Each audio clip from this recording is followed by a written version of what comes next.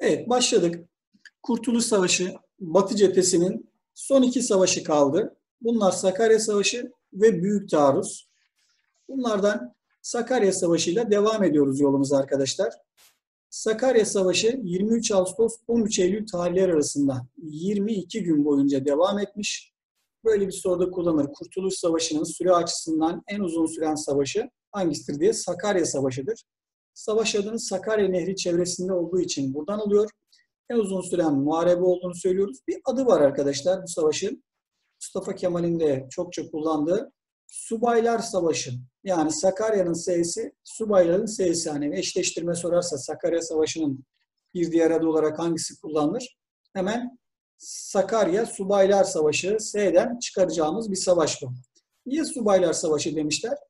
Bu savaşa pek çok subay cephe hattında katılmak zorunda kaldı. Çünkü cephe arkadaşlar bugünkü Sakarya'nın Taraklı ilçesinden Ankara'nın Polatlı ilçesine kadar çok geniş bir alanda, yüzlerce kilometrelik bir alanda olduğu için böyle tek bir karargahtan subayların savaşı görüp yönetmesi mümkün değildi. O nedenle subaylar savaş alanına inip çatışmalarda bizzat katılıp şehit olanlar da çok olduğu için subaylar savaşı diye niteliyoruz. Evet, Mustafa Kemal'in bizzat yönettiği ve Türk ordusunun kazandığı bir zafer olarak 13 Eylül 1921'de neticelenecek. Ana çatışmaların olduğu yer görüyorsunuz. Ankara'nın Polatlı ilçesi civarı en kritik yerler burası. Burası düşse Ankara belki de düşecek bu savaştan sonra. Buna izin vermedik. Şöyle bir anlam yüklüyoruz buna. Diyoruz ki Kurtuluş Savaşı'nın son savunma savaşıdır bu. Bundan sonra taarruza geçeceğiz. Bir de en büyük asker kaybını 3288 şehitle bu savaşta vermişiz. Tarihsel açıdan da şöyle bir anlam yüklüyoruz yine bu savaşa. Diyoruz ki 1683 yılında biz ikinci Viyana bozgunuyla Avrupa'dan geri çekilmeye başladık. İşte bu geri çekilişimizin sona erdiği savaş Sakarya Savaşı olacak. Artık Yunanlar taarruz gücü kırılmış savunmaya çekilirken Yunanlar üzerine taarruz edip onları bugünkü Ege ve Marmara bölgesinden çıkarmak için hareket sırası bize gelmiş olacak. Bu savaştaki başarısından dolayı meclis tarafından Mustafa Kemal'e savaş sonrasında arkadaşlar gazilik ünvanı ve maraşallik rütbesinde verdiğini söyleyelim arkadaşlar. Bakın başkomutanlık yasasını verdi, meclis başkanlığı görevini verdi. İleride soyadı, Kanuncu Atatürk soyadını meclis verecek. Şurada bir ayrıntı verdim. Bir de Mustafa Kemal'in 1928'de aldığı bir baş öğretmenlik var. Bunu meclis vermemiştir. Bunu Bakanlar Kurulu Mustafa Kemal'e vermiş. Diğer ünvan ve isimleri ise meclis verdi arkadaşlar. Burada Mareşalliğe gelmişken Büyük Meydan Savaşı kazanan komutanlara Mareşal diyoruz. Bizim Cumhuriyet tarihimizde iki Mareşal var. Bunun ilki Mustafa Kemal, ikincisi Büyük Taarruz'daki başarısından dolayı Genelkurmay Başkanımız Fevzi Çakmak da Türkiye Cumhuriyeti tarihinin ikinci Mareşal olarak kayıtlara geçmiştir. Evet bakın ne oldu? Bu çatışma bölgesinde Yunanları durdurduk Sakarya Nehri'nin etrafında. Artık Yunanlar daha ileriye gidemeyeceklerini anlayacaklar. Ellerinde kalan bu Ege bölgesini ve Trakya bölgesini korumaya çekilirken artık biz ordumuzu buradan hareket ettirip onları Ege ve Marmara bölgesinden atmaya çalışacağız. Bu savaşın dış politika açısından sonuçlarına bakacağız. Neler getirdi bize? Önce arkadaşlar biraz sonra daha geniş açıklayacağım. Sovyet Rusya'nın başkanlığında Kafkas Cumhuriyetleri ile bir Kars Anlaşması imzalanacak. 13 Ekim'de açıklayacağım. Çünkü burada ayrıntıya girmiyorum. Yine geniş açıklayacağım Fransızlarla 20 Ekim 1921'de bir Ankara Anlaşması var. Yine savaş sonrasında bu ikisini genişçe açıklayacağım. Diğerlerini burada verip geçeceğim. Üçüncüsü İngilizler ikinci bize ateşkes teklifinde bulundu. İlkini ne zaman bulunmuşlardı? Kazandığımız Birinci Dünya Savaşı'ndan sonra ateşkes teklifinde bulunmuşlardı. Kabul etmiştik. Londra'ya gitmiştik konferansa ama bizi oyaladıklarını gördüğümüz için bir sonuç çıkmamıştı. Burada ikinci kez ettiklerinde yine bu oyalama taktiğini sezdiğimiz için bu kez ateşkes teklifini kabul etmeyeceğiz.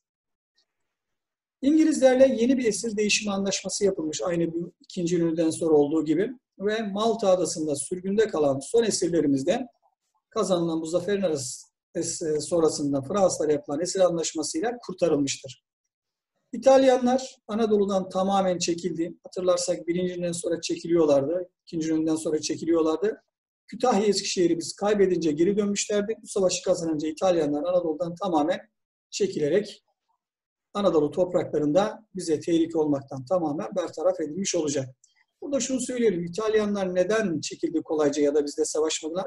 Tam istedikleri yerler alamadıkları için o İzmir ve çevresi Batı Anadolu'da bir küskünlükler var itilaf devletlerine.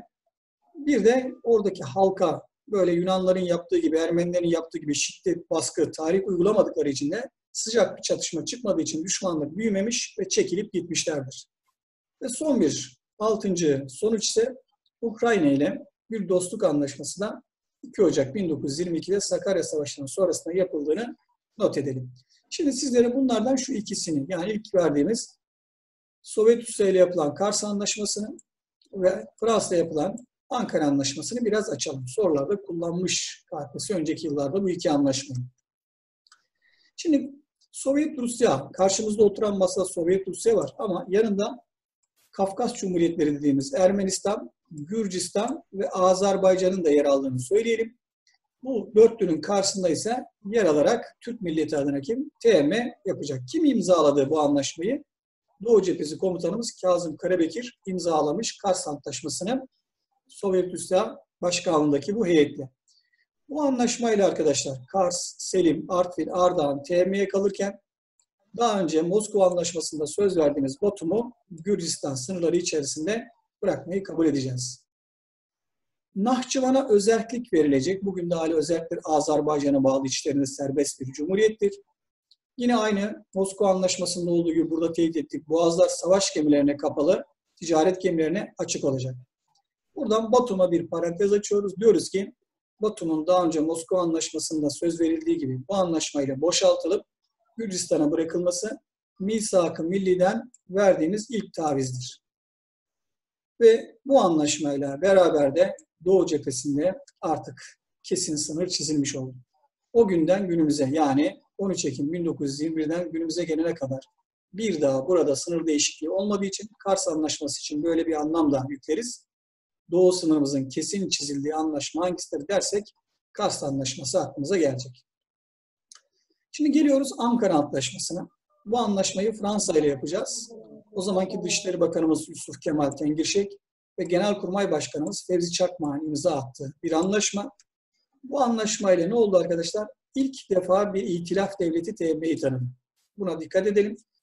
Öncesinde bir kere daha hatırlatıyorum. TM'yi tanıyan ilk devlet dedik ki Ermenistan. TM'yi tanıyan ilk Türk İslam devleti Afganistan. TM'yi tanıyan ilk büyük batılı devlet Sovyet Rusya. Şimdi ise karşımızda düşman olarak Anadolu işgal eden bir itilaf devleti olan Fransa ilk kez bizde bir anlaşma imzalayarak TM'yi tanıyan ilk itilaf devleti oldu. Bu şu anlama geliyor. İngilizleri satmıştır. Fransızlar artık daha fazla savaşı devam etmek istemiyor. İngiltere'yi yalnız bırakacaktır ki bu itilaf devletleri arasında yeni bir görüş ayrılığı ki hatırlayın ilk görüş ayrılığı bu üçüncüsüdür. İlki neydi? İlki daha önce İtalya ile İngiltere arasında yaşanan iki görüş ayrılığı vardı. Bunlardan ilki İngilizlerin Paris Barış Konferansı'nda daha önce İtalyanlara söz verdikleri İzmir ve çevresini tutup kime? Yunanlara Yunan. vermesi birinci görüş ayrılığına sebep olmuştu. İkincisi ise Londra konferansına TM'nin çağrılması konusunda İngiltere ile İtalya ters düşmüştü. Bu da ikinci görüş ayrılığıydı. Onlar İngiltere ile İtalya arasında ise şimdi ise başka bir itilaf devleti. Fransa İngiltere ile ancak görüş ayrılığına düşmüş olacak. Ne oldu bu anlaşmayla? Hatay hariç bugünkü Suriye sınırımızı çizdik. Maalesef Hatay'ı alamadık. 1900 biliyorsunuz 39'da sınırlarımıza katılacak Hatay. Süleyman Şah'ın mezarının bulunduğu Caber Kalesi, yakın dönemlerde biliyorsunuz gündeme geldi, yerini değiştirmek zorunda kaldık. Suriye Savaşı sırasında. Bu kalenin olduğu toprakların Türk toprağı olduğu sayılması bu anlaşmayla Fransızlar tarafından kabul edildi. Hatay'ı Suriye devletine bırakıyoruz. Fransız sömürgesi olan ama özerk olmasını kabul ediyoruz ve Türkçenin de bir resmi dil olarak Hatay topraklarında kullanılmasına izin verilmesini istiyoruz. Burada ne olmuş oldu? Biraz önce bahsettiğimiz Batum'dan sonra Hatay'ın Fransızlara bırakılması Misak-ı Milli'den yeni bir taviz, ikinci bir taviz olarak ne yapar? Karşımıza çıkar. Ancak günümüzde bunu taviz saymıyoruz. Çünkü 1938'de Hatay bağımsız olacak. 1939 yılında da Türkiye Cumhuriyeti'ne katılan son ilimiz olacaktı. Geliyoruz son büyük savaşına Batı cephesinin. Bunun adı Büyük Taarruz. 26 Ağustos 1922 tarihinde başlayacak olan milli mücadelenin zaferle taçlandırıldığı zaferdir. Bu savaş için bir sene bekledik. Yani Sakarya ile Büyük Taarruz arasında yaklaşık bir sene zaman var arkadaşlar. Çünkü taarruz yapacağız, hazırlıklar lazım. Bunlar zaman aldı. Nedir bu hazırlıklar? Bakın Doğu ve Güney cephesini kapattık kesin. Neyle? Doğu cephesi Kars Anlaşması ile Güney cephesi Ankara Anlaşması ile kesin kapandığı için artık gözümüz geride değil. Bu cephelerde savaşan düzenli olsun, Kuvayi Milliye Birliği olsun ne kadar askeri birlik varsa onları Batı cephesine kaydıracağız. Bu kaydırma işlemi de nakletme işlemi de bugünkü gibi uçaklar, helikopterler, trenler her yerden olmadığı için büyük oranda yaya yapıldığı için de zaman geçiyor tabii ki. İkincisi Konya'nın Akşehir Ovası civarında tatbikat alanı seçtiğimiz bölgelerde ordumuza taarruz eğitimi verdik. Artık hücuma kalkacağız. Hücum nasıl yapılır? Bunun eğitimini vereceğiz. Bu da zaman alacak. Ve biraz önceki dersimizde de söylemiştik. Tekalifi milli emirleriyle toplanan yardımlar asıl bu savaşta işe yarayacak. Buradan gelen yardımlarda elde edilen kaynaklar, bunun yanında Sovyet Rusya, İtalya Fransa'dan alınan silahlarla ordumuzun eksiklerini büyük oranda tamamlayacağız. Ve Mustafa Kemal'e de başkomutanlık süresini süresi olarak uzatıp güvencemizin tam olduğunu bildireceğiz. Bunlar büyük taarruz için yapılan son dört temel hazırlık arkadaşlar. Geliyoruz taarruz tarihine. 26 Ağustos'ta başlayacak taarruz. Bu tarih özellikle seçilmiştir arkadaşlar. Çünkü 26 Ağustos Malazgirt Savaşı'nın yıl dönümüdür. Aynı tarihe bilerek baş denk getiriyoruz. Askerimize biraz daha moral güç versin diye. Ve savaşın en kritik günü 30 Ağustos'tur. Buna bakın iki senedir sonu yaptılar lisans gruplarında özellikle söyleyelim. 2018 ve 2029'da buradan soru burada. Şu cümlenin içindeydi arkadaşlar iki soruda. Nasıl sordu? Bir sene sorduğu şuydu.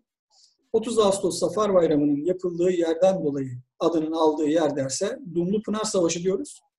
Ama şöyle sordu. Bu savaşın bir diğer adı olarak hangisi söylenebilir diye Başkomutanlık Meydan Savaşı ve geçen sene de bu savaşa verilen Mustafa Kemal'in verdiği isim olan Rum Sındı işte. Dedi ki Rum Sındı Savaşı olarak kayıtlara geçen savaş hangisidir? O da Başkomutanlık Savaşı diye istedi. Yani Büyük Taarruz'un içindeki o ana çatışmanın üç ismi var. Başkomutanlık meydan savaşı diyoruz. Sebebi bizim başkomutanımız Mustafa Kemal ve bu savaşta esir düşecek olan Mustafa Kemal'e Yunan orduları başkomutanı Trikotis yönettiği için başkomutanlık. Afyon'un Dumlupınar ilçesinde yapıldığı için çevresinde bundan dolayı Dum, Afyon diyorum Kütahya'nın Dumlupınar düzeltiyorum ilçesi yakınlarında olduğu için Dumlupınar Meydan Savaşı Mustafa Kemal'in Lütut'ta verdiği hatta Rum sınırında olduğu için bu isimle alınıyor. Ve dediğimiz gibi Trikopis esir düşecek ve 9 Eylül tarihi arkadaşlar Yunanların İzmir'den denize döküldüğü gün olarak kayıtlara geçmiş olacak. Bu 30 Ağustos'tan sonra Mustafa Kemal'in ordulara verdiği emrimizin tam çarpıcı şekli. Bu biliyorsunuz ne diyor? Yunanları takip eden ordularımıza ordular ilk hedefiniz Akdeniz ileri sözüyle ordularımızı Yunanların üzerine doğru hücuma geçirecek. Ve sonunda Büyük taarruza Nurettin Paşa komutasındaki ordularımız Ege işgalden kurtarırken bugünkü yaptığımız Altay tankına soyadını verdiğimiz Fahrettin Altay'da İzmir'e giren ilk komutan olarak tarihi kaynaklara geçecek arkadaşlar. Ne getirdi büyük taarruz bizlere? Bakın arkadaşlar Anadolu'da İtalya ve Fransız işgalinden sonra Yunan işgali de bu taarruzla beraber ne olmuş oldu? Sona erdi. Artı İtilaf devletlerinin başında bulunan İngilizler bize üçüncü kez ateşkes teklif ettiler. Geri dönüp bir kere daha söylüyoruz. Birinci ateşkes, Birinci Dünya Savaşı'ndan sonra yapılmıştı. Kabul ettik. Londra'ya gittik, oyalandık. Şit sonuç alınmadı. İkinci ateşkesi Sakarya'dan sonra yapmışlardı. Oyaladıkları için kabul etmedik. Üçüncü ateşkes teklifi de büyük taarruzdan sonra gelecek ve bunu kabul edeceğiz arkadaşlar. Bu teklifi yapan artık zaten İngiltere'de İngiltere'yi Birinci Dünya Savaşı'na sokan Lord George hükümeti seçimleri kaybetmiştir 1922'de. Yerine gelen hükümet savaş taraftarı değildir ve Dışişleri Bakanı Lord Curzon şahsın özellikle girişimleriyle Türk tarafıyla ateşkes yapılıp bir an önce savaşın bitirilmesinin iyi olacağını söyleyince İngiliz meclisine de avam kamerasına da kabul edilince bize de bildirildiğinde kabul ettik arkadaşlar. Ve taraflar kabul edilen ateşkes teklifini görüşmek üzere bugün Bursa ilimize bağlı Gemlik Körfezi kıyısındaki Mudanya'da bir ilçesi bu ateşkes antlaşmasını ne yapacaklar? İmzalayacaklar. Bir karşılaştırma yaparsak Malazgirt Savaşı ile Anadolu'nun kapıları Türklere ne yapmıştı arkadaşlar? Açılmıştı. Sonra 1176'da bir Mirya Kefalon Savaşı vardı. Yine Anadolu Selçuk Devlet döneminde, 2. Kılıç Arslan döneminde. Bizans orduları yenilmiş ve buna demişti ki Anadolu'nun Türk yurdu olduğu, tapusunun Türklerin olduğu kabul edilmişti. İşte bizden koparılmak istenen o Batılıların Viyana Kongresi'nde adını koydukları şark meselesiyle Türkleri Anadolu'dan dağıtmak projesinin son aşamasında kazanılan başkomutanlık savaşıyla Anadolu'nun sonsuza dek Türk yurdu olacağını dünyaya bir kez daha ispat etmiş olduk. Şimdi bugün son olarak sizlerle neyi? Bu ateşkes antlaşmasını ve neler getirdiğini paylaşarak dersi tamamlamaya çalışacağız. Arkadaşlar Mudanya dediğimiz gibi bugünkü Bursa ilimizin Gemlik Körfezi yakınlarındaki bir ilçesi. Burada kimler katıldı bakarsak ateşkese İngilizler var, Fransızlar var, İtalyanlar var bize düşman olanlardan. Ve Türk tarafını temsilen de sadece TM var. Osmanlı Devleti yok. Kimi gönderdi Mustafa Kemal? Kendinin gitmediği yerlerde genelde savaşta da savaş sonrasında göreceğiz. İsmet Paşa Türk tarafını temsilen ne yapmıştır arkadaşlar? Ateşkes görüşmelerini yönetmek üzere Türk tarafının aklını salmak üzere Mudanya'ya gönderilmiştir. Şimdi buraya gelmesi beklenen devletlerden biri Yunanistan.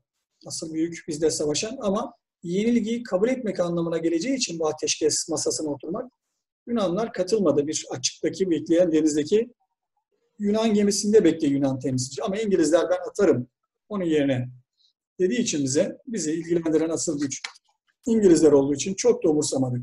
Ama İngilizlerin İstanbul hükümetinden birileri de katılsın teklifine sert bir şekilde cevap verip kesinlikle olmaz dedik. Dolayısıyla İstanbul hükümetinden ya da diğer anlamda Osmanlı Devleti'ni temsilen buraya kimse ne yapmamıştır arkadaşlar? Katılmamıştır. Evet, harita üzerinden gösteriyoruz işte burada Bursa ilimiz, Mudanya. İngilizler deniz yoluyla, gemiyle geldiler buraya. Bizim ordumuz ise Bursa'ya kadar gelmişti. Buradan İsmet İnönü giderek bu görüşmeleri yaptı. Bu gördüğünüzde Mudanya Ateşkes Anlaşması'na katılan devlet temsilcileri, burada gördüğünüz en uzun boylu olan şuradaki, biraz da espriyle karışık, İsmet Paşa'nın boyu biraz kısa. İsmet Paşa diğer İngiliz, Fransız ve İtalyanların karşısında bu anlaşmayı imzalayacak. Peki bu anlaşmayı nasıl yorumlayacağız arkadaşlar? Bu anlaşmanın bir kere en çarpıcı cümlesi bu. Kurtuluş Savaşı dediğimiz savaşın askeri mücadele safhası yani düşmanla bir cephe hattında savaştığımız, silahları kullandığımız aşaması bitti. Bu anlaşmanın adındaki ateşkesten yola çıkarak bunu söylüyoruz. Kurtuluş Savaşı'nın silahlı mücadele, askeri mücadele dönemini hangisi bitirmiş derken sakın Lozan'ı almayın. Asıl büyük anlaşma Lozan. Haftaya Lozan'ı anlatacağım size. Buradaki anlaşma arkadaşlar Mudanya'dır. İkincisi bakın Yunan ordusu Doğu Trakya'yı 15 gün içinde boşaltacak. İtilaf devletleri bir ay içerisinde Doğu Trakya'yı Türk ordusuna devredecek. TM Trakya'da 8 bin jandarma bulunacak. Şimdi burada neden doğrudan Yunanlılar bizi vermiyor, 15 gün bekletiyor, önce itilaf devletlerine veriyor, biz 8 binden fazla asker göndermiyoruz? Bunun yorumu şudur. Eğer biz direkt ordumuzu hemen Mudanya'dan sonra sokarsak Trakya bölgesine, burada var olan Yunan ordusuyla bir sıcak çatışma riski doğacağı için Yunanlara zaman veriyorlar itilaflara. Biz 15 gün içinde Yunanları boşaltırız. Onlardan biz devralırız. Böylece Türk ve Yunan ordusunun sıcak bir çatışma Trakya'da yapmasının önüne geçeriz. Yani savaş yeniden alevlenmez. İlk etapta da korkuyorlar. Yani oraya Trakya'ya çok fazla ordu geçirirsek bu sefer de Yunanlar tedirgin olur. Vay Türkler buradan saldırıp Yunanistan'a da girecekler. Çok asker geçirdiler demesinler diye oraya geçireceğimiz asker sayısını da 8 binle ne yapmışlar? Sınırlandırmışlar arkadaşlar. Şimdi savaş yapılmadan bakın şu ana kadar savaştık, ettik, aldık. Bir İtalyanların şu Konya, Antalya'yı boşaltması belki savaş olmadı ama diğer doğuda, güneyde değil mi, batıda her yeri savaşarak alıyoruz. Ama bakın bu anlaşma sonrasında bugünkü Edirne, Tekirdağ, Kırklareli, İstanbul ve Boğazlar çevresi Yunan ve İtilaf devletleri işgalinden savaş yapılmadan diplomasi yoluyla kurtarılmış oldu. Bunu sorularda kullanır. Der ki bize aşağıdaki şehirlerimizden hangisinin milli mücadele döneminde işgalden kurtarılması diğerlerinden farklı bir yöntemle olmuştur? Böyle bir soru varsa anlayın ki bu kapsamda size soru soruyor. Yani savaşarak kurtarılanlar verir dördünü, birini bunlardan atar. Onu bulmanızı ister. Burada da temel mantık Marmara bölgesindeki bu şehirler Trakya, Edirne, Tekirdağ, Kırklareli, İstanbul, Boğazlar bu beş. Ha bunun yanında bir de neyi unutmayın? İtalyanların kendiliğinden boşalttığı Konya ve Antalya'da bu kapsama girer arkadaşlar. Dikkat edeceğimiz bir soru olur bu. Evet burada iki isim var. Refet Paşa ve Şükrü Naili Paşa. 19 Ekim 1922'de ne yapıyor? Bu iki komutanımızın öncülüğündeki arkadaşlar birliklerimiz İstanbul'a giriyor. Hocam giriyorlar İngilizler çekildi mi? Hayır. Arkadaşlar İngiliz gemileri boğazlarda ve İstanbul'un bazı kilit noktalarında da maalesef yine İngiliz askerleri, Fransız askerleri olacak. Özür diliyorum arkadaşlar. Ama bizim de artık askeri birliklerimiz İstanbul'un belli noktalarında kontrolü sağlamak üzere şehre girip oradan Trakya'ya 8 bin askerin nakledilmesi için gerekli planlamayı yapmaya başlayacaklar. Devam ediyorum Mudanya'ya. Başka ne bileceğiz burada arkadaşlar? Şimdi burada İstanbul Boğazları Yönetimi TM'ye bırakılacak diyorlar. Ama bakın ancak İtilaf Devletleri barış anlaşması imzalanıncaya kadar İstanbul'da kalacak. İşte biraz önce bahsettiğimiz İngilizlerin donanmasının ve bazı askerliklerin İstanbul'un kritik noktalarında kalması. Buraya giren Refet Paşa İstanbul'daki Osmanlı'nın devre dışı kalmasından sonra Türk milleti adına buranın yönetimiyle ilgili konularda başkanlık yapmak üzere bölgeye gönderildiğini söylüyoruz. Şimdi geliyoruz başka bir başlıkla anlaşmayı saltanatın kaldırılmasına giden sürece bağlamaya. Şimdi burada biz baktığımız zaman arkadaşlar görüşmelere İstanbul hükümeti Osmanlı çağrılmadığı için ve başkenti olan İstanbul TM'ye bırakıldığı için diyoruz ki Osmanlı Devleti Mudanya Ateşkes Antlaşması ile hukuken sona ermiştir. Bu sona erme olayını bir kere daha hatırlatalım size. Bu başlık, bu sona erme olayı ilk kez Mondros'ta sizlere aktarılmıştı. Orada şöyle demiştik.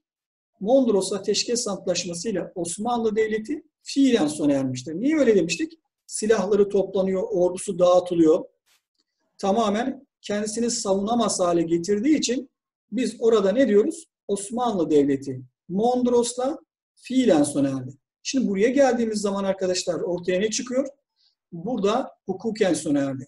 Niye hukuken dedik? Çünkü Osmanlı Devleti'nin kaderi burada görüşülüyor ama o devleti temsilen kimse yok ve bir de başkenti olan şehri alıyorlar Osmanlı yönetiminden TM'ye veriyorlar. Bu açıdan hukuken sona erdi diyeceğiz. Şimdi burada ne olmuş oldu bakın. Fransa'dan sonra Fransa 1921'de imzalanan Ankara Anlaşması'yla bizi resmen tanımıştı. İşte bu anlaşmayla da kalan iki itilaf devleti İngiltere ve İtalya'dan Mudanya Ateşkes Anlaşması'nı imzalayarak TM'nin varlığını resmen ne olmuş oldu? Tanımış oldular. Şimdi geliyoruz. Niye saltanatın kaldırılmasının Mudanya sonrasıyla Mudanya ile alakası var? Şundan arkadaşlar. Şimdi bu ateşkes anlaşmasına Osmanlı yönetimini katmayı başaramayan itilaf devletleri, başta İngiltere olmak üzere, asıl anlaşma olan, barış anlaşması olacak olan, haftaya anlatacağımız Lozan barış görüşmelerine Osmanlı Devleti'ni çağırmak ve katmak için çok büyük çaba sarf etmeye başlıyorlar. Bununla ilgili diplomatik girişimler başlıyor. Avrupa basında yazılanlar, çizilenler var. İngiliz diplomatların açıklamaları var. Bu temenin tabiri caizse kafasının tasını arttırıyor. Neden hala Türk milletini iki başlı gibi göstermek istiyorsunuz? Sizin niyetinizi biliyoruz. O nedenle buna izin vermeyeceğiz. Nasıl vermeyeceğiz dedik?